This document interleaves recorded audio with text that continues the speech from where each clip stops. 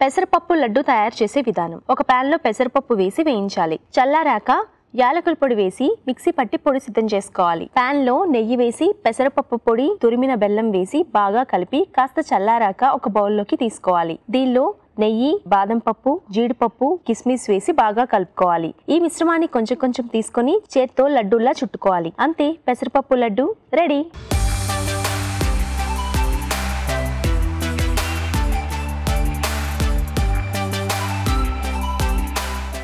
ఇప్పుడు యూట్యూబ్లో ఈటీవీ అభిరుచి ఛానల్ ఉంటుంది.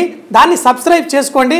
మన ప్రోగ్రామ్స్ అన్నీ మీకు వీలైన టైంలో చూసుకొని చక్కగా ఎంజాయ్ చేయండి.